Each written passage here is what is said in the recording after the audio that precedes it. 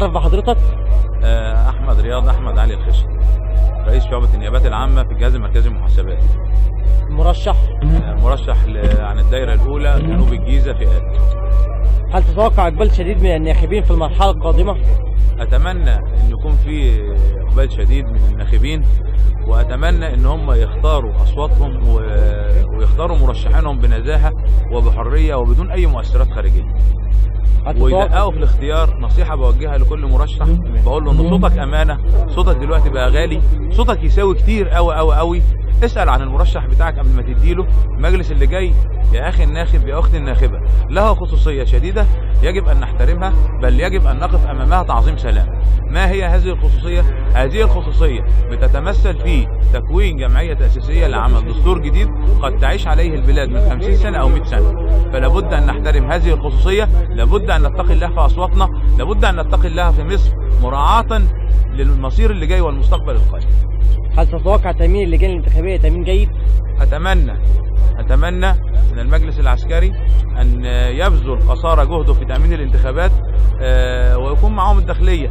واللي أنا بتمناه أكتر من كده ال- الدقة في الفرز والعناية في الفرز وأن يتقي الله الجميع في مصر. هل تتوقع أحداث عنف وتزوير في المرحلة القادمة؟ كل شيء وارد.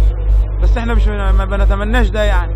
إحنا بنقول يا جماعة عايزين آه، القيادات والسيادية الأب الشرعي لازم يوجد الأب الشرعي يتواجد اللي هو بيتمثل في رئيس جمهورية آه، في مجلس نيابي يكون ممثل فيه جميع القوى السياسية اللي في الشعب. عشان الأمور تقدر تمشي وعشان نعمل كده لازم إحنا نستقر ولازم نهدى شوية عشان ربنا يكرمنا يعني. هل تتوقع حصول الاخوان المسلمين على أصوات في المرحله القادمه تاني السؤال بعد إذنك. هل تتوقع حصول الاخوان المسلمين أو حزب الحرية والعدالة على نسبة كبيرة من الأصوات في دائرة الجيزة؟ آه، أتحفظ في الإجابة. بدون تعليق. بدون تعليق. ما رأيك في حكومة الجنزوري آه، حكومة الجنزوري إحنا ما أنا بقول لحضرتك عشان الدنيا تمشي لابد أصلا من وجود الأب الشرعي المتمثل في رئيس جمهورية في مجلس نيابي ونختار من الشعب ويكون مجلس ممثل فيه جميع القوى وعشان يقدر يطلع لي حكومة وطنية ممثلة فيها الشعب كله. فحكومة الجنزوري إحنا بنقول لها حكومة تيسير مؤقتة. آه، برضو لا تعليق. أول قرار تاخده بعد الفوز إن شاء الله في الانتخابات. القرارات كتير قوي. أهم قرار. آه، قرارات كتيرة قوي قوي. آه، رغيف العيش أسطوانة الغاز. إحنا ناس مشاكلنا كتير وهمومنا أكتر وقرارات فيها كتير وصعبة.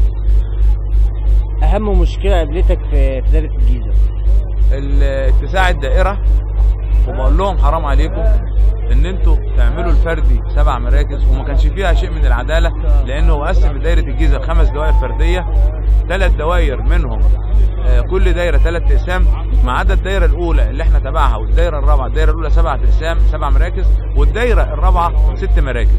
يرضي مين يعني ان أنا اجري وبرطع في سبع مراكز؟ ده عايز واحد super super superman. طبعا آه، ما في آه، فين الديمقراطية اللي بعد ثورة 25 يناير؟ فين حقي إن أنا امارس حقي السياسي في الانتخاب أو إن أنا عايز أعبر عن صوتي أو عن نفسي؟ فين الكلام ده كله؟ شكرا جزيلا